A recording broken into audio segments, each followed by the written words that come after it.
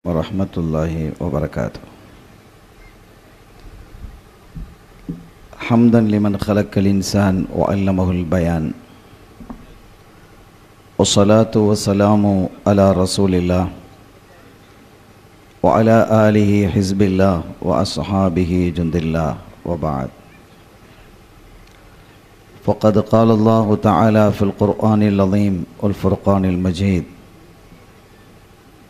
أعوذ بالله من الشيطان الرجيم بسم الله الرحمن الرحيم إن الدين عند الله الإسلام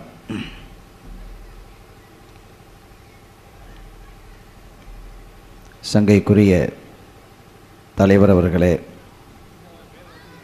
மரியாதைக்குரிய உலமாக்களே சிறப்பு அழைப்பாளர்களே அன்பிற்கினிய பெரியோர்களே அருமை சகோதரர்களே தாய்மார்களே சகோதரிகளே. எல்லாம் வல்ல அல்லாஹுவின் பேரருளும் நபிகள் நாயகம் ஸல்லல்லாஹு அலைஹி வஸல்லம் அவர்களது நல்லாசியும் நம் அத்தனை பேர் மீதும் நிலவுமாக.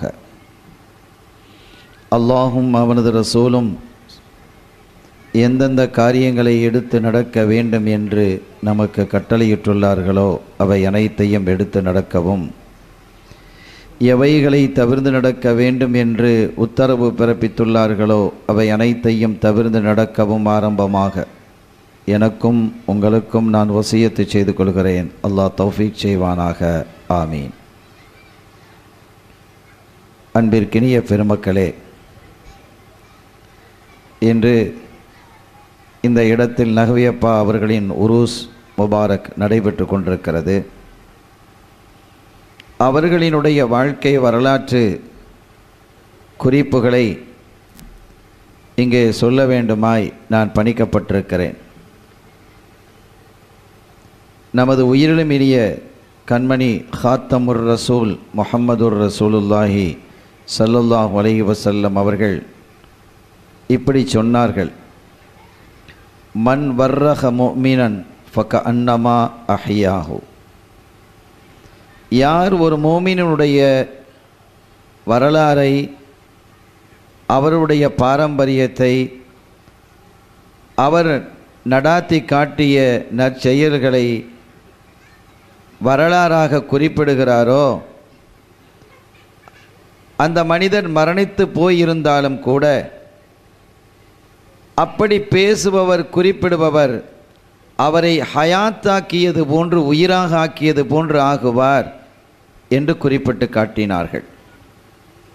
மரணித்தவர்களினுடைய நல்ல செய்திகள் நாதாக்களினுடைய வரலாறுகள் இவைகளை இந்த சமூகத்திற்கு சொல்ல வேண்டும் என்று இந்த செய்தி இந்த ஹதீத் நபிமொழி நமக்கு போதிக்கிறது. பொதுவாகவே வரலாற்று ஆய்வாளர்கள் ஒன்றை இயம்புவர். வரலாறு தெரியாத சமுதாயம் வரலாறு படைக்க முடியாது. எந்த சமூகம் வரலாறை தான் வளர்ந்து வந்த கடந்து வந்த பாதையை புரிகிறதோ விளங்குகிறதோ அப்போதுதான் அது வரலாற்றை படைப்பதற்காக அந்த சமூகம் முனையும் தெரியும். மாறாக தான் கடந்து வந்த வரலாற்றையே மறந்து போனவர்களும் அல்லது மறந்தவர்களாக நடிப்பவர்களும் அல்லது அது அவசியம் இல்லை என்று பேசுபவர்களும் இந்த மண்ணில் வரலாற்றை படைக்க முடியாது மாறாக ஒரு வரலாற்றை சிதைத்து விடுவார்கள் என்று ஆய்வாளர்கள் இயம்புவார். அந்த வகையில் இஸ்லாம் நமக்கு சொல்லி காட்டுகிறது மாண்பாளர்களினுடைய மாண்புகளை எடுத்து பேசுவது என்பதும் அவர்களை நினைவு கூறுவது என்பதும் மகத்தான பாக்கியமானது மரணித்த அந்த பெருமக்களை உயிராக்கி இந்த சமூகத்திற்கு மத்தியிலே கொண்டு வருவது என்று அவர்கள் குறிப்பிடுவர். அருமையானவர்களே அந்த வகையில் செய்யது தாய்வா செய்யதுனா ஜுனைதுல் பக்தாதி ரதியல்லாஹு தாலானு அவர்கள் ஒன்றை குறிப்பிட்ட செய்தியையும் நான் இங்கே இயம்புவேன். நீண்ட நேரத்தை நான் எடுத்துக்கொள்ள மாட்டேன். இது பசிக்கும் நேரம் புசிக்கும் நேரம் என்பதும் எனக்கு தெரியும். எனவே காலம் எனத்தை தந்த நேரத்தை விட நான் குறைத்தே நான் பேசிக்கொள்கிறேன் என்று குறிப்பிட்டதனுடைய அடிப்படையில் இன்ஷா அல்லாஹ் இந்த கமிட்டியர் தந்த நேரத்திலிருந்தும் நான் குறைவாக எனது உரையை நான் நிறைவுபடுத்துவேன். ஏனெனில் பொதுவான ஒரு செய்தி உண்டு இஸ்லாமியத்தில். தனித்து செய்யப்படக்கூடிய ஒரு வணக்கம் கூட்டாக செய்யப்படக்கூடிய வணக்கம். இந்த இரண்டுக்கும் இடையில் உள்ள வித்தியாசத்தை அருள் நபி முகம்மதுர் ரசூலுல்லாஹி ஸல்லல்லாஹு அலைஹி அவர்கள் மிக அற்புதமாக தெளிவுபடுத்துவார்கள். ஒரு மனிதன் தனியாக நின்று வணங்குகிறான் என்று சொன்னால் ஒரு மணி நேரம் நின்று வணங்கட்டும் இரண்டு மணி நேரம் நின்று வணங்கட்டும் அவன் தேவையான நேரம் காலத்தை எடுத்துக்கொள்ளட்டும் அதே சமயத்தில் ஒரு கூட்டு நிகழ்வு என்று சொன்னால் கூட்டு வணக்கம் என்று சொன்னாலும் வணக்கங்களிலேயே மிக உன்னதமானதாக கருதப்படக்கூடிய அல்லாஹ்வால் அருளப்பட்ட தொழுகையை நடத்துவதாக இருந்தாலும் ஜமாத்து தொழுகையாக இருந்தாலும் கூட அதை நீட்டித்து தொழக்கூடாது என்று சட்டம் வகுக்கிறது. ஜமாத்து தொழுகையை நீங்கள் நீளமாக்காதீர்கள். ஏனெனில் உங்களுக்கு பின்னால் நோயாளிகள் இருப்பார்கள் பசித்தவர்கள் இருப்பார்கள் வயோதிகர்கள் இருப்பார்கள் தேவையுடையவர்கள் இருப்பர். எனவே அவர்களை கருத்தில் கொண்டுதான் உங்களினுடைய ஜமாத் இமாம்களை எச்சரித்தார்கள். அருள்நபி ஸல்லல்லாஹு அலைஹி அவர்கள். தொழுகைக்கே இந்த நிலை என்று வரும் பொழுது மற்ற விஷயங்களை நாம் எண்ணி பார்க்க வேண்டும் என்ற அடிப்படையிலும் இதெல்லாம் இந்த செய்திகள் நம்முடைய பெருமக்கள் நமக்கு சொல்லி தந்தது. அந்த அடிப்படையிலும் இன்ஷா அல்லாஹ் நான் இந்த நேரத்தை நான் எடுத்துக்கொண்ட நேரத்தில் அதை நிறைவுபடுத்துவேன். அருமையான பெருமக்களே பொதுவாகவே வரலாறை பேசுவது என்பதும் வளராற்றோடு நசபுகள் என்று சொல்லக்கூடிய அவர்களுடைய பாரம்பரியத்தை பேசுவது என்பதும் சற்று சிரமமான ஒன்றுதான். இருந்த பொழுதிலும் இந்த காலத்தில் இவைகளையெல்லாம் பேசப்பட வேண்டும் என்ற ஒரு கட்டாயத்திலும் இந்த சமூகம் கடந்து வந்த நிலை பாதை என்ன என்பதை விளங்கிக் கொள்ள வேண்டும் என்றும் அந்த அடிப்படையிலும் இந்த தகவலை நான் முன்வைக்கிறேன். நம்முடைய இந்த விழாவின் நாயகராக இருக்கக்கூடிய நம்முடைய அப்பா நஹ்வி அப்பா ரலியல்லாஹு தாலானு நஃபானா பிஹி ஆமீன். அவர்களை பொறுத்தவரை நஹ்வி என்ற பெயர் இருந்த பொழுதிலும் கூட அந்த நகவிங்கிற பேர் எப்படி வந்ததுங்கிறத நம்ம சொல்லுவோம். ஆனால் அவர்கள் வெறும் நகவி என்று சொன்னால் இலக்கண சிந்தனை மிக்கவர் என்று அர்த்தம். இலக்கண துறையிலே மிக உன்னதமான இடத்தை வகித்தவர் என்று பொருள். ஆனால் அவர்கள் இலக்கணத்தில் மாத்திரமல்ல. ஒரு நகவியாக மாத்திரமில்லை. அவர்களுடைய பாரம்பரிய பெயர் அப்படி இருந்ததால் நகவி அப்பா என்று அழைக்கப்பட்டார்களே அன்றி அவர்கள் நகவியாகவும் இருந்தார்கள். ஃபக்கீஹ் என்று சொல்லக்கூடிய சட்ட வல்லுனராகவும் இருந்தார்கள். ஆரிஃப் என்று சொல்லக்கூடிய அல்லாஹுவை அறிந்த அருள்மகனாகவும் அவர்கள் திகழ்ந்தார்கள். பொது நிகழ்வுகளிலும் பங்கெடுத்து கொண்ட ஹாதிமுல் உம்மாவாகவும் அவர்கள் திகழ்ந்தார்கள். என்ன நிலையில் பார்த்தாலும் அந்த நிலையில் அவர்கள் ஒரு உயர்வான நிலையை அடைந்தார்கள். அறிஞர்களுக்கு மத்தியில் இப்படி சொல்லப்படுவது உண்டு.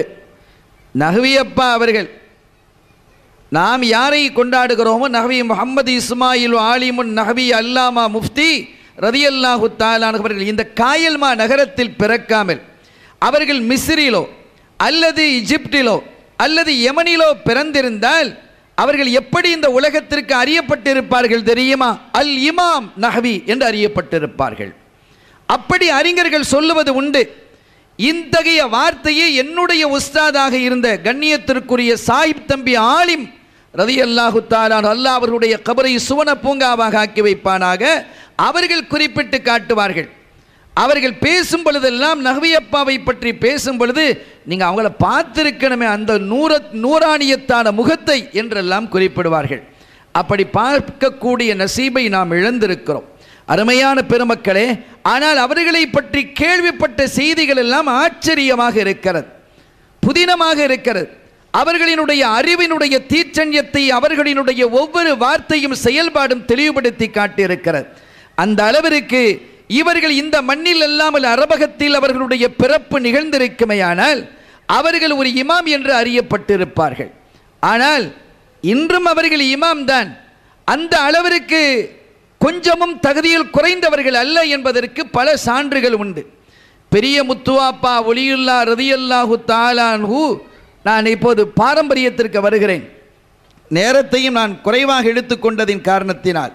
பெரிய முத்துவாப்பா ஒளியுல்லா ரதியல்லாஹு தாலானு அவர்களினுடைய மகளாகிய சீதத்னா உம்மு ஹபீபா அவர்களை திருமணம் முடித்தவர்கள் துவக்க காலத்திலே வந்த முதல் நகவியாக அறியப்பட்ட தைக்கா சாஹிப் ஒலியுல்லா ரதியல்லாஹுத்தான் அவர்களால் நகவி என்று பெயர் கொடுக்கப்பட்ட முகம்மது இஸ்மாயில் ஆலிமுன் நஹ்வில் அல்லாமா ரதியல்லாஹு தாலான் இவர்கள் இலங்கை புத்தளத்திலே அடங்கி இருக்கிறார்கள் இலங்கை புத்தளம். நம்ம ஊர்லேருந்து இருபத்தி ஏழு கிலோமீட்டர் தான்.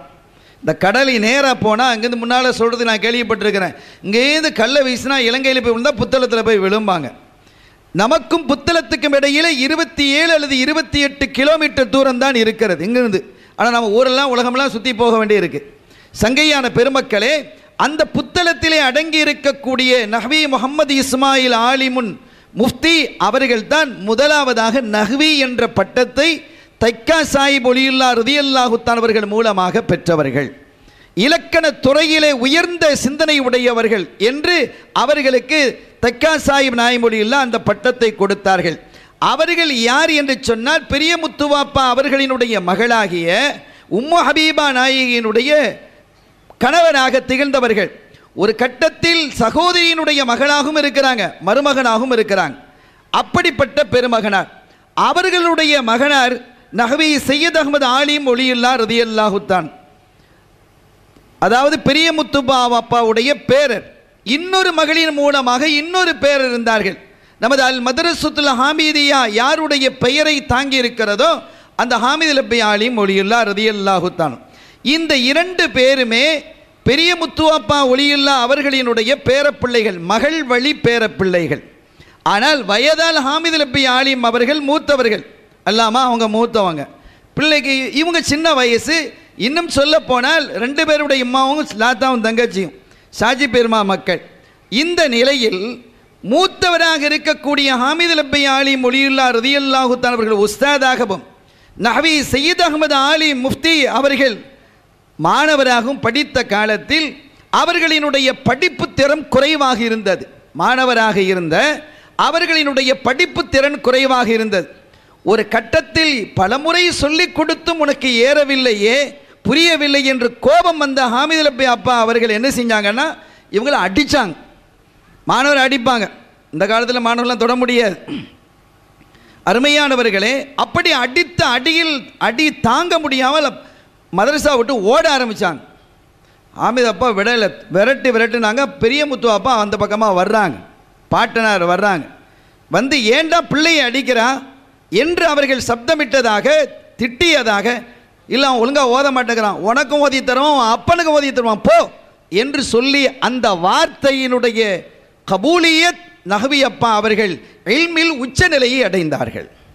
சங்கைக்குரிய பெருமக்களே அதற்கு பிறகு அவர்கள் அற்புதமான ஒரு முதர்ரீஸாக அமர்ந்து மகதராவிலும் நம்முடைய குருவித்துறை பள்ளியிலும் அவர்கள் ஓதி தந்திருக்கிறார்கள் ஓதி கொடுத்திருக்கிறார்கள் என்பதை வரலாறு நமக்கு சுட்டி காட்டும் சங்கையான பெருமக்களே அவர்களுடைய திருமகனார் தான் நாம் இன்று யாரை நகுவியப்பா என்று இந்த உருசை கொண்டாடி கொண்டிருக்கிறோமோ அவர்கள் அந்த முகமது இஸ்மாயில் ஆலிமுன் நகுவி அப்பா அவர்கள். அவங்கள பார்த்தவங்க நிறைய பேர் இருக்கிறாங்க நாங்கள் பார்க்க இல்லை. ஆனால் அவர்களுடைய மூத்த மகனாக இருந்த நபியப்பாண்டு எல்லாருக்கும் விளங்கப்பட்ட இந்த இல்லத்திலே இருந்த செய்தாமது ஆலிம் நபி அவர் முஃப்தி அவர்களை தான் நாங்கள் எல்லாம் பார்த்திருக்கிறோம். சங்கைக்குரிய பெருமக்களே இவர்களினுடைய அறிவு தீச்சண்ணியத்தை பற்றி பல செய்திகள் இருக்கிறது. அற்புதமான பல தகவல்கள் இருக்கிறது. விரித்து பேசுவதற்கான கால அவகாசம் இல்லை என்றாலும் சில விஷயங்களை நான் இங்கே குறிப்பிடுகிறேன். ஒரு கட்டத்தில் நஹவி அப்பா அவர்கள் அதாவது இவர்களுடைய தந்தையார் சயீத் அகமது நஹவி அப்பா அவர்கள் ஓதி கொடுத்துட்டு இருக்கிறாங்க. அப்படி ஓதி கொடுத்து கொண்டிருக்கக்கூடிய காலகட்டத்தில் இலங்கையை சார்ந்த ஒரு அறிஞர் அங்கே ஓதுறார். ஓதுறார்னு சொன்னால் சாதாரண அறிஞர் அல்ல. அவ்வளோ பெரிய அறிவும் ஆற்றலும் கொடுக்கப்பட்டவர்கள் விபரமானவர்கள். அவர்களுடைய அறிவை பற்றி இந்த செய்தியெல்லாம் நான் பெரும்பாலும் பெற்றுக்கொண்டது சுல்தான் மாமா இருந்தாங்க. நம்ம குருவித்துறை பள்ளியினுடைய இமாமாக இருந்த சுல்தான் மாமா நவ்வரல்லாஹு மர்கதஹு அல்லாஹ் அவர்களுடைய மன்னரையை சுவன பூங்காவாக ஒளிமயமாக ஆக்கி வைப்பானாக. அவர்கள் மூலமாகத்தான் இந்த தகவல்களை நான் பெற்றுக்கொண்டேன். சங்கையானவர்களே அப்படிப்பட்ட ஒரு அறிஞர் சையத் அகமது ஆலி முஃப்தி இவங்களுடைய நம்ம அப்பாவுடைய வாப்பாட்டை ஓதிக்கிட்டு இருக்கிறாங்க. அப்படி ஓதிக்கொண்டிருக்கக்கூடிய காலகட்டத்தில் இவர் எந்த அளவிற்கு அறிவாளி என்றால் அவருக்கு இன்னும் அறிவினுடைய தாகம் அதிகமாகி இந்த மண்ணிலிருந்து புறப்பட்டு புறவாச்சேரி போன்ற ஊர்களுக்கெல்லாம் நாகூர் அருகிலே இருக்கக்கூடிய அங்கே நிறைய உளமாக்கல் இருக்கிறார்கள். அங்கெல்லாம் சென்று கல்வியை கற்கிறதுக்காக போயிட்டாங்க. அப்போ அப்பா கேட்குறாங்க அடா அவனை காணமை எங்கே? அவன் பெயரை சொல்லி அவனை காணமை எங்கே? என்று கேட்கும் பொழுது இல்லை அப்பா அவர் புறவாச்சாரிக்கு போயிட்டான். அப்படியா? அவன் இங்கேயே நம்ம போட்டு பிரட்டுவான்.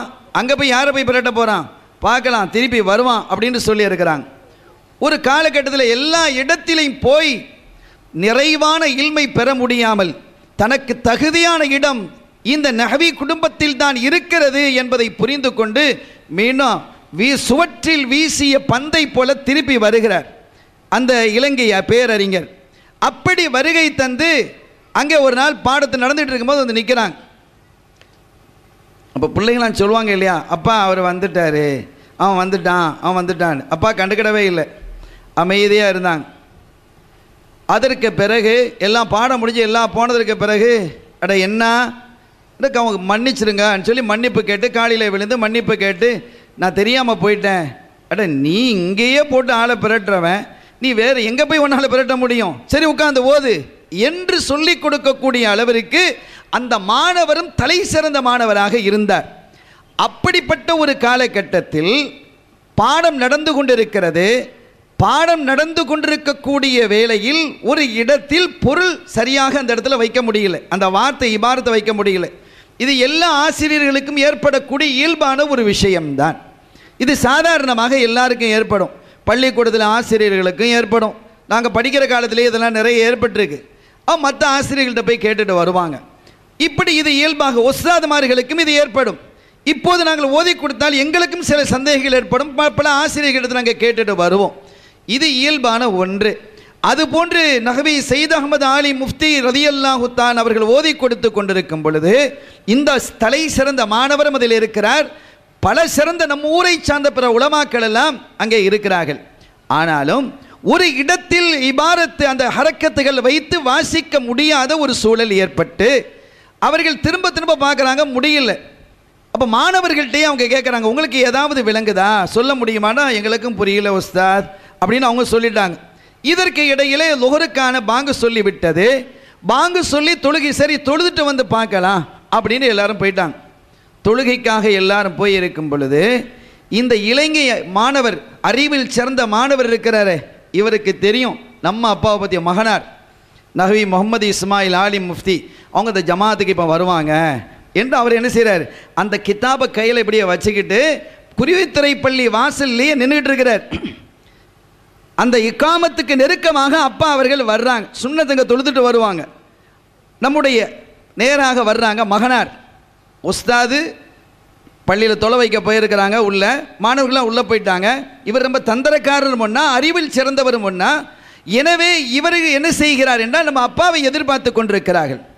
கிட்ட வந்தா பார்த்தா கரெக்டாக வந்துட்டாங்க. வேற ஒன்றும் இல்லை வந்ததும் காக்கா அந்த அந்த அறிஞர் சொல்கிறார் அவங்களுக்கு அப்பா மூப்பு. காக்கா அந்த இடம் அப்படின்னு காட்டுறாங்க. இது என்ன? இது இப்படி வருதா? இது மேலே என்ன இருக்குது கீழே என்ன இருக்குது அதெல்லாம் ஒன்றும் பார்க்க இல்லை. எந்த அளவிற்கு அறிவில் உச்ச நிலையில் அப்பா அவர்கள் இருந்திருக்கணுங்கிறதை சுட்டி காட்டுவதற்காக இந்த தகவலை சொல்கிறேன். பொதுவாக பிள்ளைகள் வந்து கேட்பாங்க இன்றைக்கி கூட. உஸ்தாத் மருகள் கேட்பாங்க இந்த இடம் எங்களுக்கு புரியலைங்கும் போது நாங்கள் மேலேருந்து வாசிப்போம். மேலிருந்து வாசிக்கும் போது ஓ இது இப்படி சொல்லப்பட்டிருக்கிறது இதனுடைய கருத்து இப்படி. என்று என்ன செய்வோம்? ஒரு ஐந்து வரி ஆறு வரி அல்லது தொடர்பான செய்திகள் எங்கு துவங்குகிறதோ அங்கிருந்து ஆரம்பிப்போம். ஆனால் அப்பா அவர்கள் என்ன செஞ்சாங்க? கையில் கொடுத்து காக்கா அந்த இடம் அப்படின்னு. ஆ இது ஹதாமி அப்படின்னு சொல்லிட்டு போயிட்டாங்க. ஆமாம் ஹதாமி தான் என்று இப்போது அவருக்கும் புரிகிறது. ஆச்சரியப்பட்டு போயாச்சு. இப்போ தொழுகம் முடிஞ்சது. தொழுகம் முடிஞ்சு திருப்பி உட்காந்தாச்சு பாட ஆரம்பிக்குது. பாடம் ஆரம்பித்து பாடம் நடத்தி கொண்டிருக்கும் பொழுது அந்த இடம் வந்து திரும்பவும் சிக்குது.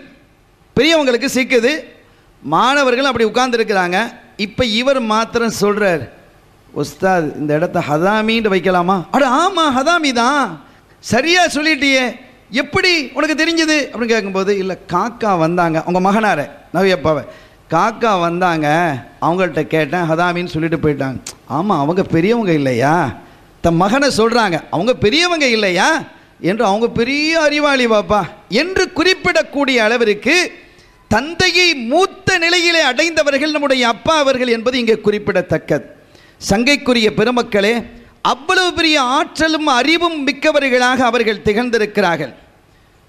இங்கே எங்களுடைய உஸ்தா சொல்லி காட்டுவாங்க ஷாவி மதஹபினுடைய பிரதானமான அறிஞர்களாக திகழ்ந்தவர்கள் இமாம் ராஃபி இமாம் நவவி ரஹமத்துல்லாஹி அலைஹிமா. மிகப்பெரிய அறிவாற்றல் மிக்கவர்கள். அவர்களுடைய வரலாறுகளை பேசுவதாக இருந்தால் ஆச்சரியமாக இருக்கும். ஞானங்களை அல்லாஹ் அள்ளி கொடுத்திருக்கிறான். இமாம் நவவி ரஹமத்துல்லாஹி அலைஹி அவர்களை பற்றி ஒரு சின்ன குறிப்பு. அவர்கள் ஒரு முறை கிதாபை எழுதி கொண்டிருக்கிறார்கள். குறைந்த காலமே நாற்பது சொச்ச ஆண்டு காலமே வாழ்ந்தவர்கள் தான் இமாம் நவவி ரஹமத்துல்லாஹி அலைஹி. அற்புதமான பேரறிஞர். ரியாது சாலிகின் என்று சொன்னால் அந்த கிதாப் உலகம் முழுவதும் என்று பிரபலியமான கிதாப் அது ஹதீது கிதாப். எல்லா மதரசாக்களிலும் ஆண் பெண் மதரசாக்களிலும் ஓதிப்படக்கூடிய இன்னும் சொல்லப்போனால் எல்லா மொழிகளிலும் மொழியாக்கம் செய்யப்பட்டிருக்கக்கூடிய ஒரு கிதாப் இமாம் நவவி ரஹமத்துல்லாஹி அவர்களுக்கு உரியது ரியாது சாலிஹீன் என்பது. நாற்பது சொச்சம் காலமே வாழ்ந்திருக்கிறார்கள். அவர்களை குறித்த அறிஞர்கள் பேசும் பொழுது இப்படி இயம்புவார்கள். ஒரு ஆய்வு நடத்தப்பட்டது. அந்த ஆய்விலே இமாம் நவவி ரஹமத்துல்லாஹி அவர்களுடைய எண்ணற்ற கிதாபுகள் எண்ணிக்கையில் அடங்காத கிதாபுகள் இவைகளை எல்லாம் ஆய்வுபடுத்தப்பட்டு இவர்கள் எழுத ஆரம்பித்த காலம் எது என்று பார்த்தால் ஏறக்குறைய இருபத்தி ஓராவது வயதிலே அவர்கள் எழுத துவங்கி இருக்கிறார்கள். அப்படி பார்த்தால் அதிகபட்சமாக இருபத்தி ஐந்து ஆண்டு காலம் அவர்கள் எழுதியிருக்க வேண்டும். ஆனால் பிறந்த காலத்திலிருந்தே கணக்கிட்டு பார்ப்போமேயானால் ஒரு நாளைக்கு சுமார் முப்பது பக்கங்கள் அவர்கள் எழுதியிருக்கிறார்கள். பிறந்த காலத்தில் கணக்கிட்டு பார்த்தா. அந்த கால்குலேஷனை பாருங்க. அப்படியானால் அவர்கள் அந்த இருபத்தி ஓரு ஆண்டு கால இருபத்தி ஐந்து ஆண்டு காலங்களில் ஒவ்வொரு நாளும் எத்தனை நூற்றுக்கணக்கான பக்கங்களை எழுதியிருப்பார்கள் அல்லாஹ் எவ்வளவு பெரிய நேரத்தை அவர்களுக்கு வாசியாக விசாலமாக ஆக்கி வைத்திருக்க வேண்டும் என்பதை புரிய முடிகிறது. அப்படிப்பட்ட இமாம் நவவி ரஹமத்துல்லா அலி அவர்கள் ஒருமுறை எழுதி கொண்டு இருக்கும் பொழுது அந்த பேனா அந்த பக்கத்தில் இருந்த ஒரு இரவு வேளை பக்கத்தில் இருந்த விளக்கு அணைந்து போய்விட்டது என்ன இல்லாமல். அப்போது அவர்கள் பிடித்திருந்த அந்த கையில் இருந்து ஒரு ஒளி பிறந்து அதிலே அவர்கள் எழுதினார்கள் என்ற வரலாறை பார்க்க முடிகிறது. இப்படிப்பட்ட பெருமக்கள் இந்த ஷாவி மதுஹபினுடைய தூண்களாக இருக்கக்கூடிய மிக பிரதமான பிரதானமான தூண்கள் இரண்டு தூண்கள் இமாம் நவவி இமாம் ராஃபி ரஹமத்துல்லாஹி அலைஹிமா. இந்த இரண்டு அறிஞர்களுக்கு இடையிலும் கால வித்தியாசம் உண்டு. இவர்களுக்கு மத்தியிலே கருத்து வித்தியாசமும் உண்டு. அறிஞர்களுக்கு மத்தியிலே கருத்து வேறுபாடு ஏற்படுவது என்பது ஒரு பாரதூரமான ஒரு விஷயம் அல்ல என்பதை நீங்கள் புரிந்து கொள்ளணும். அது இயல்பான ஒன்று. நபிமார்களுக்கு இடையில் கருத்து வேறுபாடுகள் இருந்திருக்கிறது. சகாபாக்களுக்கு இடையிலே கருத்து வேறுபாடுகள் இருந்திருக்கிறது. இத்தகைய கருத்து வேறுபாடு என்பது ஆரோக்கியமான கருத்து வேறுபாடுகள். இது இஸ்லாம் அங்கீகரிக்கிறது. ரசூல் சல்லல்லா அலிஸ்லாம் அவர்கள் அங்கீகரிக்கிறார்கள். அல்லாஹும் அங்கீகரிக்கிறான். ஆனால் இப்போது இருக்கக்கூடிய வகாபிகள் அங்கீகரிக்க அல்லாஹ்வே அங்கீகரித்தாலும் நாங்கள் அங்கீகரிக்க மாட்டோம் என்று சொல்லி கருத்து வேறுபாடு கொள்ளக்கூடியவர்கள். அது முரண்பாடு. அருமையான பெருமக்களே அவர்களை விமர்சிப்பதற்காக நான் வரவில்லை. அவர்களை விமர்சிக்காதித்தால் தலைப்பு மாறி போய்விடும் என்றும் நான் அஞ்சுகிறேன் சங்கையான பெருமக்களே அப்படிப்பட்ட இயல்பான ஆரோக்கியமான சில கருத்து வேறுபாடுகள் இமாம்களுக்கு மத்தியில் இருப்பது உண்டு. அதற்கு இஸ்லாமியத்தில் இடமும் உண்டு என்பதற்கு நீண்ட ஆதாரங்கள் தெளிவுகள் இருக்கிறது. இந்த இரண்டு இமாம்கள் ஷாவி மதுஹபியினுடைய தூண்களாக கருதப்படக்கூடிய இமாம்களாகிய இமாம் ராஃபி இமாம் நவவி ரஹமத்துல்லாஹி அலைஹிமா இவர்களினுடைய ஒரு விஷயத்தில் இரண்டு கருத்து வேறுபாடுகள் வரும் பொழுது அந்த இரண்டையும் ஒன்றாக ஆக்கி தத்பீகாத்து செய்து இஸ்திம்பாத் ஆய்வு செய்து இதற்கு இப்படி பொருள் கொள்ள வேண்டும் என்று ஒரு அற்புதமான கிரந்தத்தை அப்பா அவர்கள் எழுதியிருக்கிறார்கள். இது அறிஞர்களுக்கு கிடைத்த ஒரு பெரும் பாக்கியம். ஆனால் பெரிய முசீபத்து என்னவென்று சொன்னால் அந்த கிதாபு கையில் இல்லை. உண்மையிலேயே இந்த கிதாபுகளை அரபுகள் பார்ப்பார்களே ஆனால் அரபு நாடுகளிலே இருக்கக்கூடிய வல்லுநர்கள் இதை பார்ப்பார்களே ஆனால் அதிர்ந்து போய் விடுவார்கள். ஆனால் ஒரு பெரிய இழப்பை நாம் சந்தித்திருக்கிறோம். அப்படிப்பட்ட ஒரு கிதாபு நம்மிடத்தில் இல்லாமல் போனது. இரண்டு பேரறிஞர்கள் இந்த மதுஹபினுடைய தூண்களாக கருதப்படக்கூடிய பெருமக்களினுடைய கருத்துக்களை உள்வாங்கிக் கொண்டு அவர்களுக்கு மத்தியில் இஸ்திம்பாத் அந்த ஹதீதுகளை அந்த சட்ட நுணுக்கங்களை ஆய்வு செய்து அதற்கான தத்திபிக்காத்தான ஒரு நூறானியத்தான ஒரு வழியை ஒளியை அவர்கள் உருவாக்கி இருக்கிறார்கள் என்று சொன்னால் அது அற்புதம். இப்படி ஒரு கிதாப் பெரும்பாலும் பெரும்பாலும் உருவாகவில்லை என்றே நாம் நினைக்கலாம். அப்படி உருவாக்கியவர்கள் நம்முடைய அப்பா அவர்கள். சங்கையான பெருமக்களே அத்தோடு இன்றைய நான் இன்னொன்றையும் நாம் குறிப்பிடுவோம். இந்த ஃபத்துவா எழுதுவதில் அவர்களுக்கு நிகர் அவர்கள்தான்.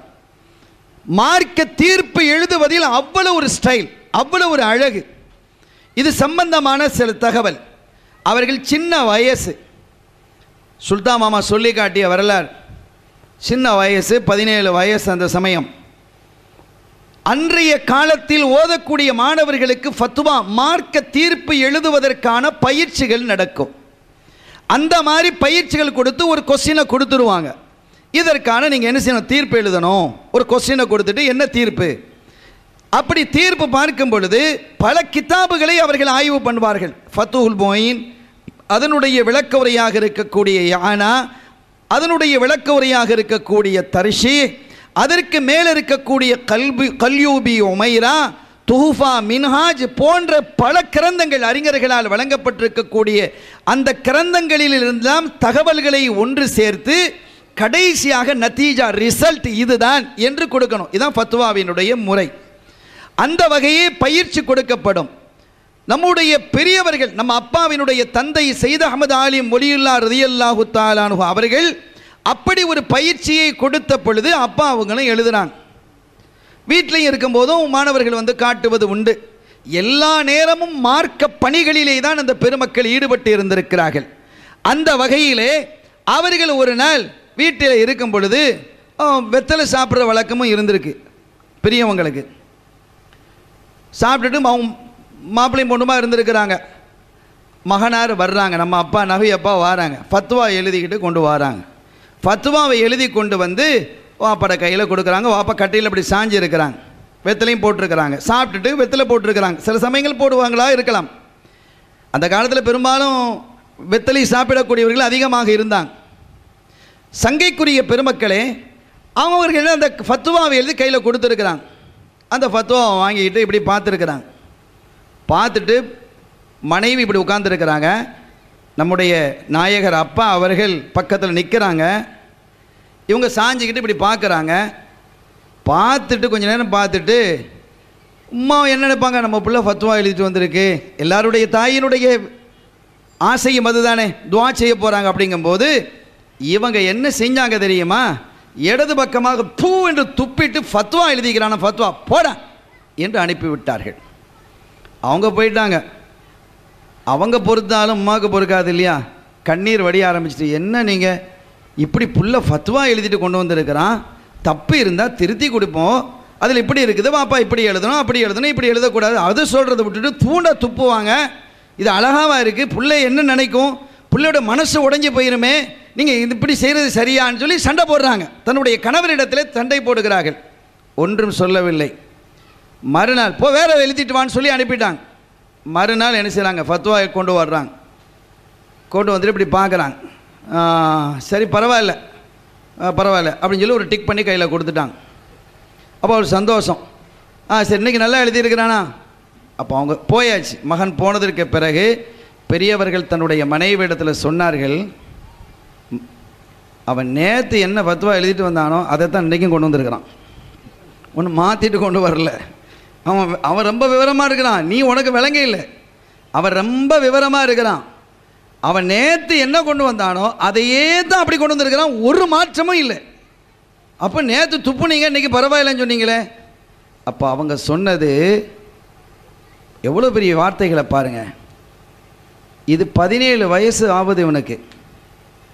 இந்த வயசில் எழுத வேண்டிய ஃபத்துவா இது அல்ல. நான் ஒன்று சொல்லவா?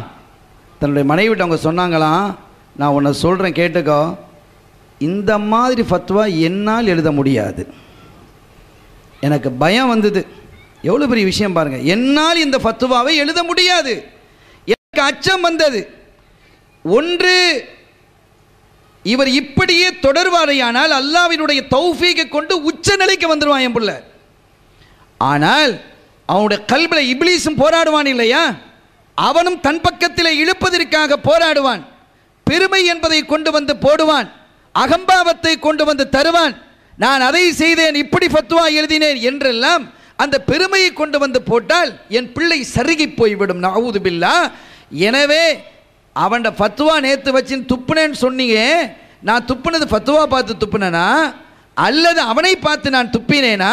நான் துப்பியது எந்த பக்கம்? இடது பக்கத்திலே. ஷெய்தான் ஷெய்தானை நோக்கி நான் துப்பினேன். என் பிள்ளையினுடைய கல்விலே பெருமை என்பது கிபிர் என்பது வந்துவிடக் கூடாது என்பதற்காக செய்தது தான் எதை அன்றி எனக்கு அந்த ஃபத்வா பார்த்து நான் திகைச்சு போயிட்டேன். இப்படி ஒரு ஃபத்வாவை என் பிள்ளை எழுதியிருக்கிறான் என்பது எனக்கே ஆச்சரியமாக இருந்து நான் வெளிப்படுத்தக்கூடாது என்பதற்காக. அவன் ரொம்ப கிளியராக இருக்கிறான். நேற்று எழுதின ஃபத்வாவை நீ திருப்பி கொண்டு வந்துட்டான். என்று குறிப்பிட்டு காட்டும் அளவிற்கு மிகப்பெரிய முஃப்தியாக திகழ்ந்தவர்கள் பல நாடுகளிலிருந்து ஒரு முறை அவர்கள் இலங்கையிலே இருக்கக்கூடிய சமயத்தில் இரண்டு அறிஞர்களுக்கு மத்தியில் கருத்து வேறுபாடு ஏற்பட்டு மிகப்பெரிய பிரச்சனையாகும் அது ஆகிவிட்டது. அப்படி இருந்த சமயத்தில் ஒரு நாள் ஒரு அறிஞர் அப்பா இடத்துல ஒரு விஷயமா கேட்கறதுக்கு வேற ஒரு விஷயமா. இந்த கருத்து வேறுபாடு வேற ரெண்டு பேர் இடைங்களுக்கு இடையிலே ரெண்டு உலமாக்களுக்கு இடையில். ஆனால் அதை பற்றி அல்ல வேறொரு சந்தேகம் ஏற்பட்டு அப்பா இடத்துல வர்றாங்க. அப்பா இடத்துல வந்து அந்த விளக்கத்தை கேட்கும் பொழுது அப்பாவினுடைய தனித்தன்மை என்றால் ஒன்றோடு இன்னொன்றை இணைத்து அதை சால்வ் பண்ணிடுவாங்க. அப்படி ஒரு தனி செ- செயல்பாடு இருந்திருக்கு திறமை இருந்திருக்கிறது.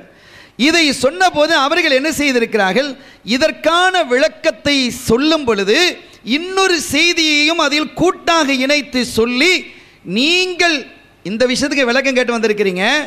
இன்னொரு விஷயத்தில் இன்னொரு ஆலிமோடு நீங்கள் கருத்து மோதல்களை நீங்கள் பரிமாறிக்கொண்டிருக்கிறீர்கள். அதில் அந்த ஆலிமினுடைய கருத்து தான் சரியானது என்பதை தெளிவுபடுத்துகிறாங்க சொன்னதும் தான் தாமதம். என்ன செஞ்சாரு? இந்த ஆலிம் நேரடியாக சென்று உடனடியாக அவர்களை ஆலிங்கனம் செய்து நான் என்னுடைய பிழையை நான் உணர்ந்து கொண்டேன். உங்களுடைய கருத்து சரியானது என்பதை நகவி அப்பா அவர்கள் எனக்கு தெளிவுபடுத்தினார்கள்.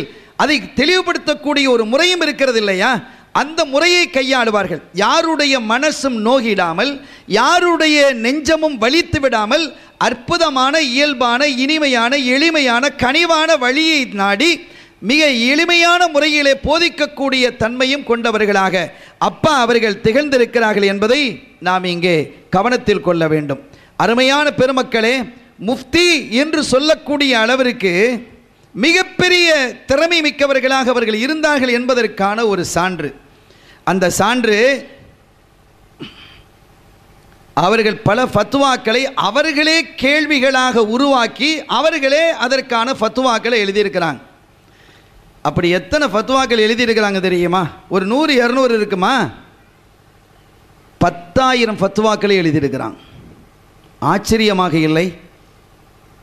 இப்படியெல்லாம் எழுதினால் நான் ஏற்கனவே சொன்ன மாதிரி இப்படியெல்லாம் எழுதி இந்த செய்திகள் இந்த கிதாபுகள் எல்லாம் யமனுக்கோ அல்லது பகதாதுக்கோ அல்லது சிரியாவிற்கோ அல்லது இது போன்ற நாடுகளுக்கு கிடைத்திருந்த அந்த அறிஞர்களிடத்தில் கிடைத்திருந்தால் இவர்களை வெறு இமாம் என்று சொல்ல மாட்டார்கள். இமாமுல்லா இம்மா. நான் கூடுதலாக பேசுகிறேன் என்பதல்ல மாறாக அவர்களினுடைய கருத்தில் இருந்த அந்த செய்திகள் பத்தாயிரம் ஃபத்வாக்களை ஒரு மனிதனால் எழுத முடிகிறது என்று சொன்னால் அது ஒரு பெரும் சாதனை. ஆனால் இப்போதும் பாருங்கள் அந்த கித்தாப் அப்படி எழுதப்பட்ட கித்தாபுகளை ஒரு காலகட்டத்தில் அழகான முறையில் வடிவமைப்பதற்காக வேண்டி அது மகதராவில் இருந்தது. அந்த வடிவமைப்பதற்காக வேண்டி அன்றைய காலத்தில் அங்கே உஸ்தாதாக இருந்த இரண்டு பேர் சிராஜுல் முனீர் நம்ம ஹமீத் அம்சா ஓதுனாங்க.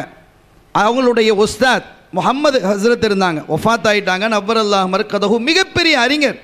அதோடு மாத்திரம் அல்லாமல் அவருடைய ஹேண்ட் ரைட்டிங் அழகாக இருக்கும். அந்த முகமது ஹஸ்ரத் சிராஜுல் முனீரினுடைய பிரின்சிபலாக திருப்பூரில் இருந்தவங்க. நான் அவர்களோடு தொடர்புகளை வைத்திருந்தேன். அவர்களிடத்தில் சென்று பல விஷயங்களை நான் தெளிவுபெற்று வருவேன்.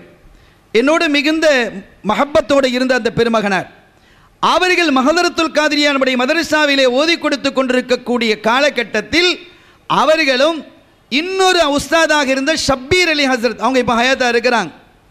கடந்த நம்முடைய மாஸ்கர் ரஹ்மான் மகளிர் அரபி கல்லூரியினுடைய விழாவிலே வந்து பேசியவர்கள் அவர்களுமாக பெரும்பாலும் முகமது ஹசரத் தான் எழுதியிருக்கிறாங்க இவங்களும் எழுதியிருக்கிறாங்க. அதை மூன்று வால்யூம்களாக எழுதி எடுத்து அந்த காலத்திலேயே முகமது ஹசரத் அதை எழுதுறதுக்கு ஆயிரம் ரூபா வாங்கியிருக்கிறாங்க. ஏறக்குறைய நாற்பது வருஷத்துக்கு முந்தி. நாற்பது வருஷத்துக்கு முந்தி ஆயிரம் ரூபாயுடைய வேல்யூ என்ன? இன்னைக்கு ஆயிரம் ரூபாய் இல்லாமல் போயிடுச்சு அது வேற விஷயம். ஆயிரம் ரூபாயினுடைய வேல்யூ எப்படி இருந்திருந்தால் அது எவ்வளோ பெரிய பணியாக இருந்திருக்கும்? அந்த அளவிற்கு ஒரு ஆயிரம் ரூபாய் கொடுத்து அது எழுதப்பட்டிருக்கிறது. ஆனால் அந்த கிதாபை காணலை. எவ்வளோ பெரிய ஆனால் அது எப்படியாவது இந்த சமூகத்திற்கு கிடைக்க வேண்டும் என்று இந்த அற்புதமான அவர்களுடைய மஜிலிஸிலே அல்லாஹ்விடத்திலே நாம் வேண்டுவோமாக. சங்கையான பெருமக்களே இது மாத்திரமல்ல. இந்த அந்த முதர்ரீஸாக இருந்த முகமது ஹஸ்ரத் அவர்களோடு நான் ஒரு விஷயமாக ஃபத்துல் மொயினை தமிழாக்கம் செய்யக்கூடிய விஷயத்தில் அவர்களோடு நான் ஆலோசனை செய்து கொண்டிருக்கும் பொழுது அவர்கள் சொன்னாங்க நகையப்பா எழுதிய குத்துபியத்திற்கான ஷரஹ். நம்ம சதகுத்துல்லா அப்பா நாயகம் எழுதிக்கிறாங்க இல்லையா? யா குத்துபா எழுதிக்கிறாங்க யா செய்யதி சனதின்னு படிக்கிறோமே அது ஒரு பெரிய பாடல் அது. அதில் ஒரு பகுதியை ஒரு துண்டு கடைசி பகுதியை மட்டும்தான் நம்ம யா செய்யதி சனதின்னு படிக்கிறோம். அந்த குத்துபியத்திற்கு ஷரகு எழுதியிருக்கிறாங்க. அப்படி ஷரகு எழுதிய அந்த ஷரகு அவங்க சொல்கிறாங்க இது கேரளாவில் உள்ள உலமாக்களும் குத்துபியத்துக்கு ஒரு ஷரகு எழுதியிருக்கிறாங்க. விளக்க உரை ஷரகு என்றால் விளக்க உரை அதற்கு அவர்களும் விளக்க உரை எழுதியிருக்கிறாங்க. உங்கள் அப்பா நகவி அப்பா அவங்களும் சரகு எழுதியிருக்கிறாங்க. ஆனால் அவங்க சொன்னது கேரளாவில் இருக்கக்கூடிய அறிஞர்கள் எவ்வளோ பெரிய அறிஞர்கள்? இன்றைக்கி எவ்வளோ கிதாபுகள் அங்கே உருவாகி கொண்டிருக்கிறது. ஆனால் இந்த ஷரகுக்கு நிகராக அது இல்லை. நீங்கள் அதை போய் தேடி எடுங்கண்ணா நீங்கள் அதை போய் தேடி எடுக்கணும் என்று அவர்கள் குறிப்பிட்டு காட்டும் அளவிற்கு அவர்களுடைய ஷரகு அவங்க சொல்கிறாங்க அவங்களுடைய அந்த இதுகள்லாம் நாங்கள் படிக்கும்போது பார்க்குறோம். சும்மா அரபு மொழிகளும் வார்த்தைகளும் அவர்களை தேடி வந்து விழுந்த மாதிரி இருக்கிறது. ஆச்சரியமாக இருக்கிறது. இந்த ஏறக்குறைய எழுபத்தி நாலு ஆண்டு காலங்கள் இந்த வையத்திலே வாழ்ந்த இவர்களால் எப்படி இவ்வளவு பெரிய சாதனைகளை நிகழ்த்த முடிந்தது என்று எங்களுக்கு ஆச்சரியமாக இருக்கிறது என்று முகம்மது ஹசரத் அவர்கள் சொன்னது என்னுடைய காதிலே ரீங்கரித்து கொண்டிருக்கிறது. அருமையான பெருமக்களே அவ்வளவு பெரிய அறிவும் ஞானமும் மிக்கவர்களாக நம்முடைய அப்பா அவர்கள் திகழ்ந்திருக்கிறார்கள். நஹவி என்பதற்கு. அதில் கேட்க தேவையில்லை. மற்றதுலேயே கொடிகட்டி பறக்கும் பொழுது அது இரத்தத்தோட ஊறியதல்லவா நகவி அது சம்பந்தமான நிறைய விஷயங்களை அவங்க எழுதியிருக்கிறாங்க. ஒரே ஒரு தகவலை நான் இங்கே சொல்லுவேன் மறைந்த அறிஞர் கண்ணியத்திற்குரிய ஷேக் அப்துல் காதர் மிஸ்பாயி ஆலிம் அவர்கள். இலங்கையிலே அவர்கள் ச- சவுதியிலே இருந்தாங்க. ரொம்ப காலமாக இருந்தாங்க. ஒரு நாள் ஒரு கடையில் போய் அவங்க மொழியியலிலே ரொம்ப கெட்டிக்கார ஆள் எல்லாருக்கும் தெரியும். மொழியியலில் லாங்குவேஜ் லுகத்திலே ரொம்ப கெட்டிக்கார் தமிழகத்திலேயே ஒரு தலை சிறந்த அறிஞர் மிஸ்பா ஆலிம் இந்த லோகத்தில் லாங்குவேஜில் ரொம்ப பெரிய கெட்டிக்கார ஆள் அவர்கள் சொ- அவர்கள் சொன்னாங்க நான் ஒரு தடவை என்ன செஞ்சேன்? ஒரு கடைக்கு போய் ஒரு கிதாபுகளை சில கிதாபுகள் முக்கியமான கிதாபுகளாக வந்திருந்ததுன்னு சொல்லி நான் பார்த்துக்கிட்டு இருக்கிறேன். அப்போ யூனிவர்சிட்டியில் படிக்கக்கூடிய சில இளைஞர்கள் அவர்கள் அந்த கடைக்கு வந்திருக்கிறாங்க. அப்படிக்கு வந்து அவனும் எதை பார்த்துக்கிட்டு இருக்கிறானோ நான் அஜமிங்கிறது நம்ம பார்த்தா அவனுக்கு தெரியுது. நம்ம அரபி இல்லைங்கிறது அவனுக்கு தெரியுது. இந்தியாக்காரனோ பாகிஸ்தான்காரனா இருப்பான் அப்படின்னு நினச்சிக்கிட்டான் அவன். உண்மையும் அப்படி தான் நான் கையில் வைத்திருக்கக்கூடிய கிதாபை பார்த்து அவனுக்கு கிண்டலாக அவனுக்குள்ளே பேசிக்கிறானோ இந்த பாரு இவனுக்கு தேவையா இந்த கிதாபு? ஆ, இது ஒரு விளக்குமாறு மாதிரி இருக்கிறான். இவனுக்கு இவ்வளோ பெரிய கிதாப் பெரிய இரும்பு தேவையா துப்பாக்கி தேவையா? ஒரு குச்சியை தூக்க முடியாதவன் துப்பாக்கியை தூக்கிக்கிட்டு இருந்தால் எப்படி இருக்கும்? இந்த மாதிரி கிண்டலான வார்த்தைகள் அவன் பேசிக்கிட்டு இருந்தான். சுபாய் அன்சாருடைய பிடிவாதம் தெரியும் தானே? நேராக கேட்டுக்கிட்டே இருந்திருக்கிறாங்க. கடைசினா டக்குன்னு ரெண்டு கை அந்த கிதாப் வச்சு ரெண்டு பையனை பிடிச்சிட்டாங்க அந்த ரெண்டு இளைஞர்களையும் பிடித்து கொண்டு நீங்கள் பேசியதெல்லாம் நான் கேட்டு தான் இருக்கிறேன் எனக்கும் அரபி தெரியும். இப்போ நம்ம என்ன செய்வோம்? இந்த இடத்துல ஒரு முடிவு செய்வோம். நீங்கள் என்ன படிக்கிற அப்படின்னு கேட்டான். என்ன துறையிலே நீ இருக்க என்ன ஃபன்னிலே நீ இருக்கிறாய்? நாங்கள் வந்து நகவு படிச்சுட்டு இருக்கிறோம். இலக்கணத்திலே நாங்கள் உச்ச நிலையில் இருக்கிறோம். இன்னும் அந்த பிள்ளைகள் சொல்லியிருக்கிறாங்க. அப்படியா? இலக்கணம் சம்பந்தமாக சில விஷயங்களை நீ கேள். நான் விளக்கம் சொல்கிறேன் அதுக்கு பிறகு நாங்கள் எப்போ நீ விளக்கம் சொல்லணும்? இன்னும் அங்கே கடைக்காரன் பெரிய பிரச்சனையாக இருந்து பயப்படுறான். ஒன்றும் இல்லை நான் வேறு பிரச்சனை பண்ண மாட்டேன். அவன் பேசின வார்த்தைகள் எல்லாம் நீ கேட்டுக்கொண்டு இருந்தாயா எவ்வளவு இழிவான வார்த்தை என்னை பார்த்து பேசினான்.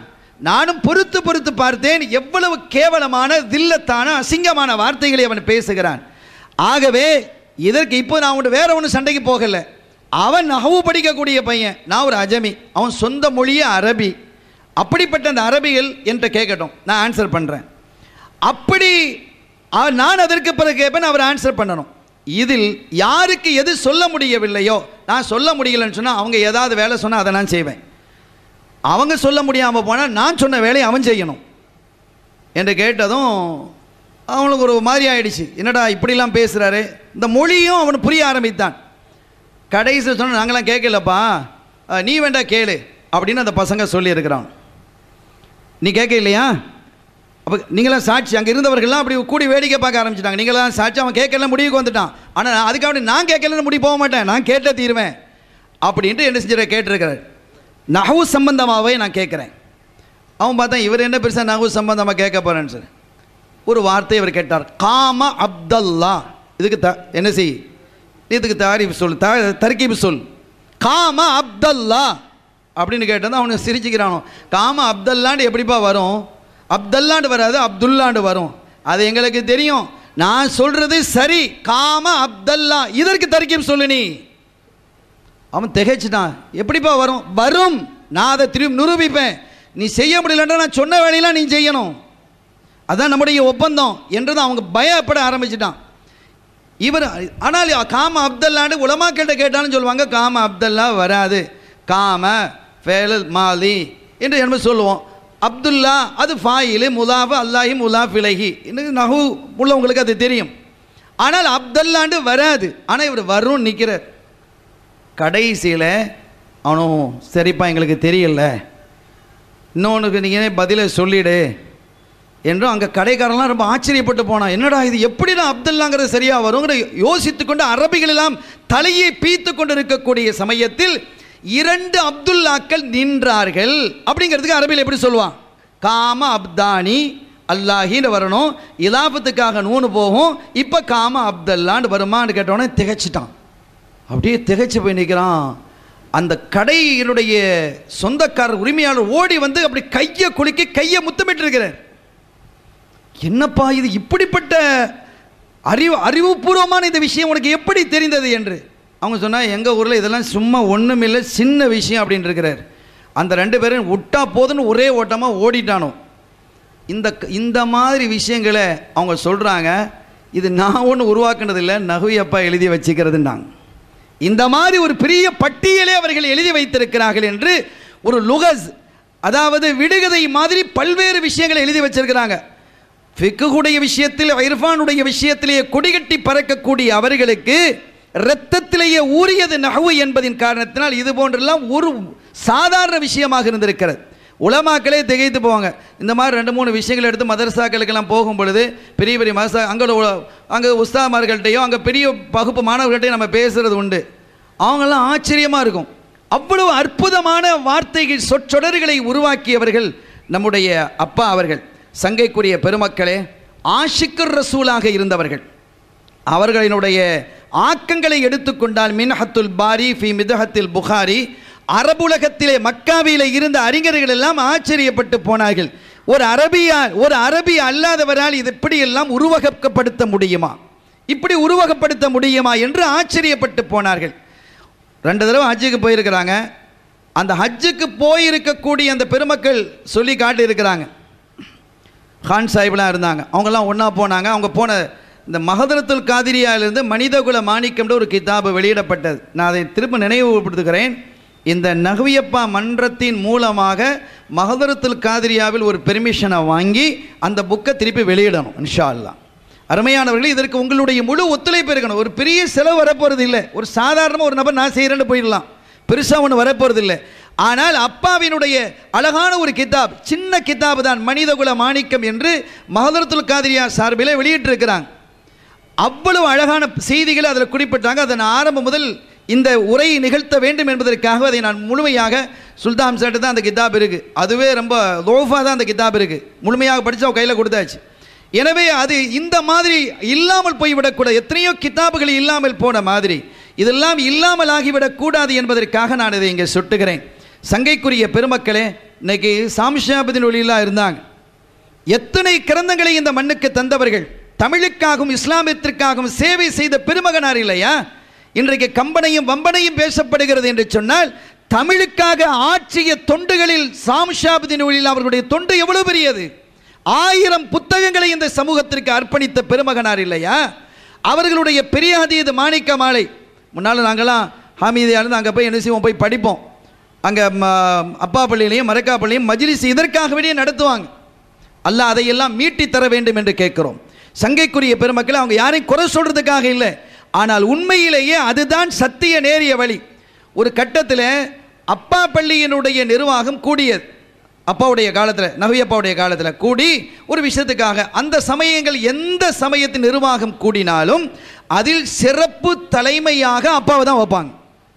அப்பா அவங்களே அழைச்சிருக்கிறாங்க. இவங்க எதற்காக கூடியிருக்கிறார்கள் என்பதை விளங்கி கொண்டு அவங்களே சொன்னாங்களா எதுக்காக கூடியிருந்தா நல்ல விஷயத்துக்கு தான். பெரிய அதீத மாணிக்க மாலையை வெளியிடணும். பெரிய அதீத மாணிக்க மாலையை வெளியிடணும் என்று அப்பா பள்ளி நிர்வாகம் முடிவு செய்திருக்கிறது. அப்படி முடிவு செய்து அதை வெளியிடுவது பள்ளியிலிருந்து நம்ம வெளியிட்டுருவது என்று முடியிருந்த போது அப்பா அவங்க சொன்னாங்களாம் பள்ளியினுடைய காசை மஸ்ஜிதினுடைய காசை இதற்காக செலவழிக்க கூடாது. சப்ஜெக்டே ஆரம்பிக்கல அவங்கள பேசியிருக்காங்க அப்பாவை கூப்பிட்டுருக்காங்க வந்திருக்கிறாங்க எதுன்னு சொல்லலை. ஆனால் உள்ளுணர்வில் விளங்கி கொண்ட அப்பா அவர்கள் குறிப்பிட்டிருக்கிறார்கள் இது பள்ளியினுடைய காசிலிருந்து செய்யப்படக்கூடியது அல்ல. இங்கே இருக்கக்கூடியவங்களே கூட அதை செஞ்சு முடிச்சிடலாம் அப்படின்னு சொல்லியிருக்கிறாங்க. அந்த சொன்னதும் தான் தாமதம் அங்கிருந்த ரெண்டு பேரும் எழுப்பி நாங்கள் செஞ்சு முடிச்சிடுறோம் அப்படின்னு அவங்க அங்கனையே முடிஞ்சுது. அப்பா அவர்களினுடைய சொல்லுக்கு வழிபடக்கூடியவர்களாக அந்த பெருமக்கள் இருந்தார்கள் என்பதை சுட்டிக்காட்டி பெரியாதீது மாணிக்க மாலை மீண்டும் இந்த மண்ணிலே வருவதற்கான ஒரு பெரும் முயற்சியை அப்பாவின் மூலமாக அந்த பெருமக்கள் செய்திருந்தனர். அதுபோன்று இது போன்ற கித்தாபுகள் எல்லாம் வெளியே வருவதற்கு நாம் முயற்சி செய்ய வேண்டும். அப்பா அவர்கள் யார் என்பதை இந்த சமூகத்திற்கு அவர்களுடைய சந்ததிகளுக்கு குறிப்பாக அவர்களுடைய பிள்ளைகளுக்கே தெரியணும் முதல்ல. நமக்கே தெரிய மாட்டாங்க சரியா? அந்த மாதிரி ஒரு நிலை இருக்கிறது. எனவே அவர்களுடைய வரலாறு அவர்கள் வாழ்ந்த வாழ்க்கை அந்த எளிமை அவர்களுடைய அற்புதமான சேவை இவைகளெல்லாம் இந்த சமூகத்திற்கு வழங்கப்பட வேண்டும் என்பதற்காக இங்கே நான் இதை சுட்டிக்காட்டி இருக்கிறேன். அதுபோன்று அவர்கள் பல்வேறு மூலிதைகளை எழுதியிருக்கிறாங்க. நிறைய மருதியாக்களை என்ன செஞ்சு எழுதியிருக்கிறாங்க.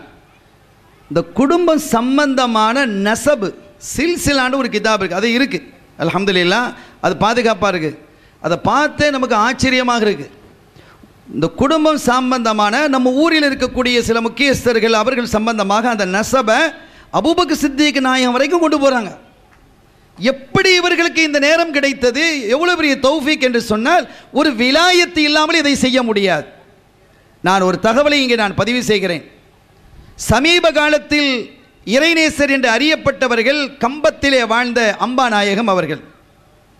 அவர்களினுடைய வரல அவர்களை நம்முடைய ஆட்கள் போய் சந்திக்க போயிருக்கிறாங்க. நம்ம மக்கள் நம்ம ஒரு நானும் போய் சந்திச்சிருக்கிறேன் நம்ம ஒரு மக்கள் நிறைய பேர் சந்திச்சிருக்கிறாங்க. சந்தித்த போது அவர்கள் சொன்ன ஒரு விஷயம் நவியப்பா இருந்தாங்களே நம்ம பெரியாக்கிட்ட அது யாருன்னு குறிப்பிடல எனக்கு தெரியும் அவர்கிட்ட அவங்க சொல்லியிருக்கிறாங்க. இந்த நகவியப்பா இருந்தாங்களே நகவி முகமது இஸ்மாயில் அப்பா அவங்கள பற்றி உங்களுடைய கருத்து என்ன? நம்ம மஹல்லாவை சார்ந்த இந்த குறியுத்துறைப்பள்ளி மஹல்லாவை சார்ந்த உலமாக்கள் போய் சந்தித்த போது கேட்ட வார்த்தை அது. அப்போ அவங்க பெரிய ஆலிம் பெரிய பஹர் பெரிய வரை பேணுதலானவர்கள் மிகப்பெரிய ஃபக்கீகாக நகவில் ஆற்றல் மிக்கவர்களாக எங்களுக்கு அவங்களை விட ஒரு சிறந்த ஒரு அறிவாளி நாங்கள் பார்க்கலலாம் சொல்லும் பொழுது அம்பாநாயகன் சிரிச்சிட்டு சொன்னாங்களாம் அவ்வளோதான் நீங்கள் விளங்கி இருக்கிறீங்க.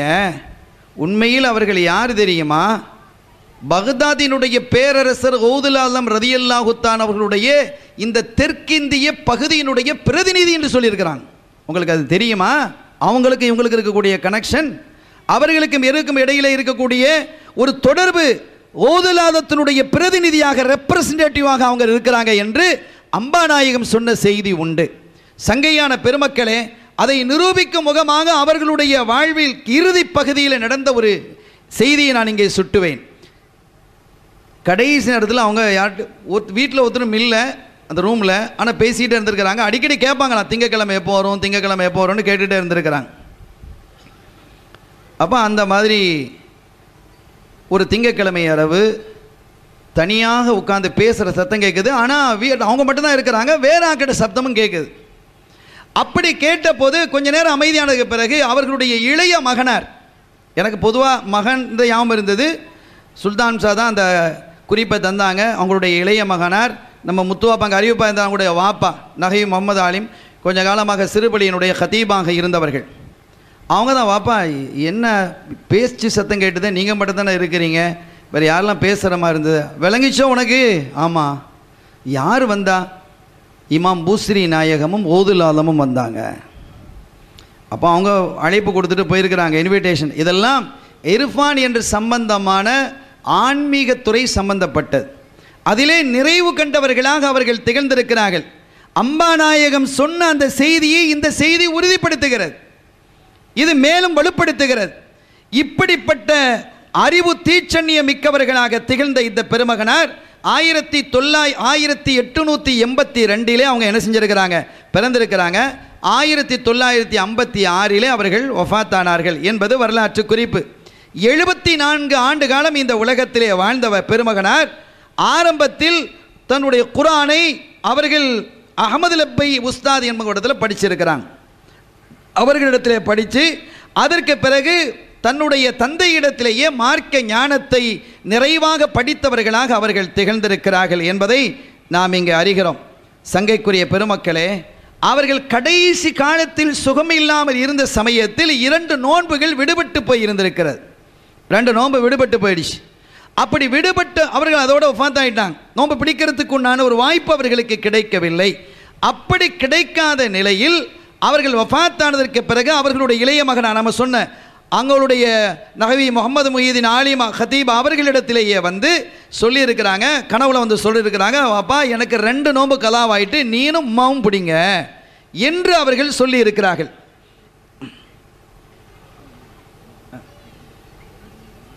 அருமையான பெருமக்களே எனவே அவர்கள் குறிப்பிட்டு காட்டினார்கள் இந்த ரெண்டு நோன்பு எனக்கு விடுபட்டு இருக்குதுன்னு சொன்னால் இதிலிருந்து நம்ம என்ன விளங்குகிறோம்? அவர்கள் பேணிக்கை என்பது ஒரு பக்கம் இருக்கட்டும். எனக்கு விடுபட்ட நோன்பு கூட கலா கலாவை நீங்கள் என்ன ஆனால் அது நியாயமான ஒரு கலா. இப்போ நோன்பில் ஒரு மனிதர் வந்து ரெண்டு நோன்பை விட்டுட்டாருன்னு வைங்க. ஒரு ஆள் பிடிக்க முடியாமல் போச்சு நோய் வந்துருச்சு. ஒரு ரெண்டு நோன்பு மூணு நோன்பு விடுபட்டுட்டு. இந்த காரணத்தோடு விடுபட்ட நோன்பை அடுத்த ரமலானுக்குள்ளால் அவர் பிடிச்சுக்கிடலாம். காரணம் இல்லாமல் சும்மா விட்டான்னு வைங்க. நோம்பு முடிஞ்ச உடனே பிடிக்கணும். அது வாஜிபு. அடுத்த நோன்பு வரைக்கும் டைம் இருக்கலாம் கிடையாது. ஃபுகஹாக்கள் உலமாக்கள் இருக்கக்கூடிய மஜிலிஸ். ஒரு நோன்பு விடுபட்டது என்று வைத்துக் கொள்ளுங்கள். காரணம் இல்லாமல் விடுபட்டு போயிடுச்சு. இவர் அடுத்த ரமதான் வர்ற வரைக்கும் பிடிச்சிக்கிடலாமா? அப்படி கிடையாது. ரமதான் முடிஞ்ச மறுநாளே பிடிக்கணும். பெருநாள் முடிஞ்ச மறுநாளே பிடிக்கணும். அவர் மீது விதியாகிடும். அது வந்து வாசியாத்தான கலா கிடையாது. ஆனால் ஒரு நோயிலே இருந்து ஒரு கடுமையான பிரயாணத்தில் இருந்து இப்படிப்பட்ட சில சபபுகளால் நியாயமான காரணங்களால் நோன்பை விடுவதற்கு தகுதியான காரணங்கள் இருந்து அவர் விடுபடுவாயானால் அடுத்த ரமலானுக்கு முன்பாக அவர் பிடிச்சுக்கிடலாம். இதுக்கு இடையில் அவர் மூத்தாகி விடுவாரையானால் அவர் குற்றவாளி அல்ல. இது சரியத்து தீர்ப்பளிக்கும். ஏன்னா அவருக்கு வந்து டைம் கொடுக்கப்பட்டு அந்த டைம் முடியறதுக்கு முன்னால் அவருடைய வாழ்வு முடிஞ்சு போயிடுச்சு. அப்பாவுக்கும் அப்படி தான் ஒரு நிலை ஏற்பட்டது. சங்கைக்குரிய பெருமக்களே அப்படி ஏற்பட்ட அந்த நிலையிலும் கூட தன்னுடைய மகனினுடைய கனவியிலே வந்து இதை நீங்கள் என்ன செய்யுங்க நீனும் மாவும் பிடிச்சிருங்க. ஆளுக்கு ஒரு நோம்பாக பிடிச்சிருங்க. என்று சொல்லும் அளவிற்கு இதில் பல விஷயங்கள் இருக்குது. ஒரு மனிதருக்கு கலாவான நோன்பை அவருடைய வாரிசுகள் பிடிக்கலாமா? பிடிக்கலாம் என்ற ஒரு ச மார்க்கத்தினுடைய சட்டமும் அதிலே ஃபிக்குகும் விளக்கமாகிறது. அங்கேயும் ஒரு ஃபத்வா சொல்லி கொடுத்துட்டாங்க. நீ இப்படி என்று ஒரு ஃபத் வஃபாத்திற்கு பிறகும் கூட கிளாஸ் எடுக்கிறாங்க. என்று சொன்னால் இத்தகைய அவுளியாக்களை பற்றி சொல்லும் பொழுது தசர்ருஃபுடைய அவுளியாக்கள் அதாவது இடம்பெயர்தல். ஒரு இடத்திலிருந்து இன்னொரு பகுதிக்கு இடம்பெயர்ந்து செல்லக்கூடிய அந்த பெருமக்களுக்கு தசர் அகுலு தசர்ருஃப் என்று குறிப்பிடுவார்கள். சங்கையான பெருமக்களே இப்படி பல்வேறு சிறப்புகளையும் பல்வேறு சங்கையான நிலைகளையும் கொண்டவர்கள் தான் நம்முடைய அப்பா அவர்கள். நான் நிறைய குறிப்புகளை வைத்திருக்கிறேன். ஆனால் அவைகளெல்லாம் பேசுவதற்கு முன்பாக நான் வாக்கம் தந்து விட்டேன் நான் எடுத்துக்கொண்ட நேரத்தில் இன்னும் இரண்டு நிமிடங்களே பாக்கி. இன்ஷால்லாம் நான் நிறைப்படுத்தி விடுவேன்.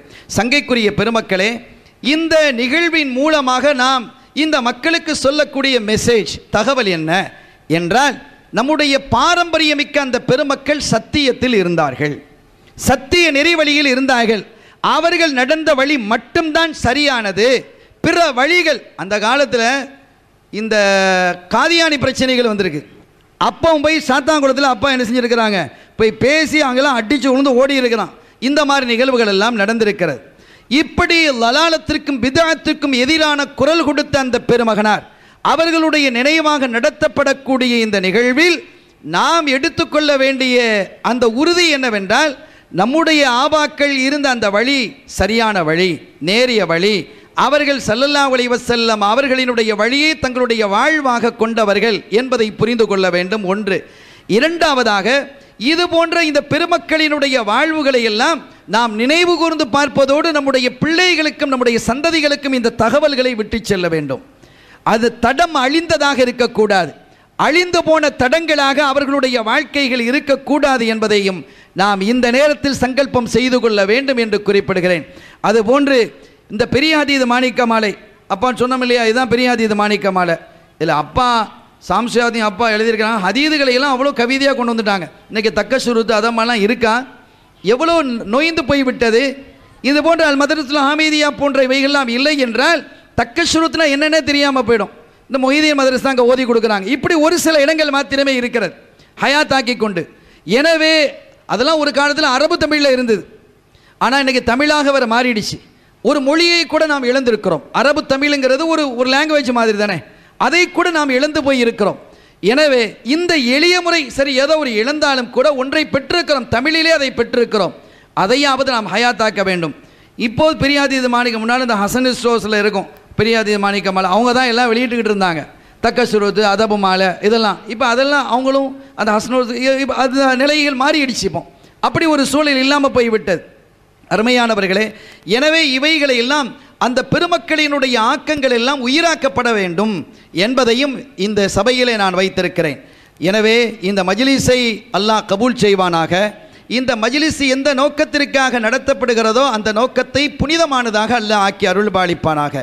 இதுபோன்ற ஆக்கங்கள் உருவாகுவதற்கு இந்த சபையின் மூலமாக அல்லாஹு தாலா நிறைந்த வசதிகளையும் வாய்ப்புகளையும் உருவாக்கி தந்து இந்த மக்களுக்கும் இந்த நிகழ்வை நடத்தக்கூடியவர்களுக்கும் வருகை தந்தவர்களுக்கும் குறிப்பாக அப்பாவினுடைய குடும்பத்தாருக்கும் அல்லாஹ் மகத்தான பாக்கியத்தை தந்தருள்பாடிப்பானாக அவர்களுடைய சந்ததிகள் நெசவுகளை எல்லாம் பேச வேண்டும் என்று நினைத்திருந்தேன்.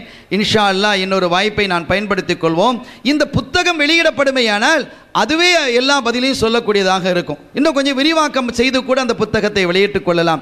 ஆக மொத்தத்தில் ரபுல் ஆலமின் அல்லாஹ் அப்பா அவர்களினுடைய அந்த சேவைகளை கபூல் செய்தது போன்று இந்த பணிகளையும் செம்மையாக தொடர்வதற்கு அவர்கள் விட்டு சென்ற அந்த பாதையை தொடர்ந்து செயல்படுத்துவதற்கான தௌஃபீக்கை நம்மவர்களுக்கு தந்தருள் பாலிப்பானாக. பிஹக்கி ஹபீபிஹி சல்லல்லாஹு அலைஹி செல்லம் எல்லாம் வல்ல அல்லாவின் அருளையும் சல்லல்லாஹு செல்லம் வஸல்லம் அவர்கள் ஷஃபாத்தையும் பெறுவோமாக. வ ஆஹிர் الله رب العالمين. والسلام عليكم ورحمة الله وبركاته.